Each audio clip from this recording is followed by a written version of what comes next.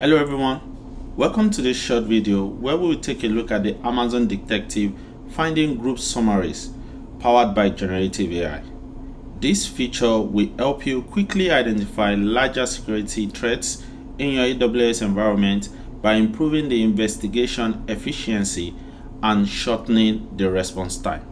Amazon Detective Finding Groups let you examine multiple activities as they relate to a potential security event.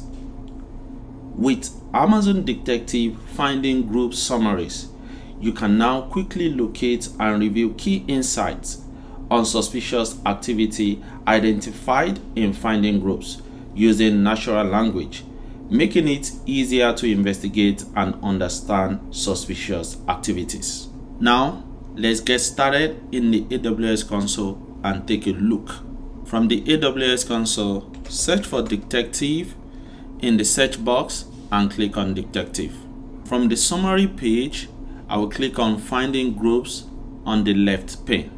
From the Finding Groups page, I will click on a specific title to get more details.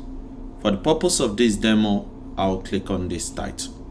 Here, you see a new tile showing the generated AI-powered summary of this finding group in a natural language.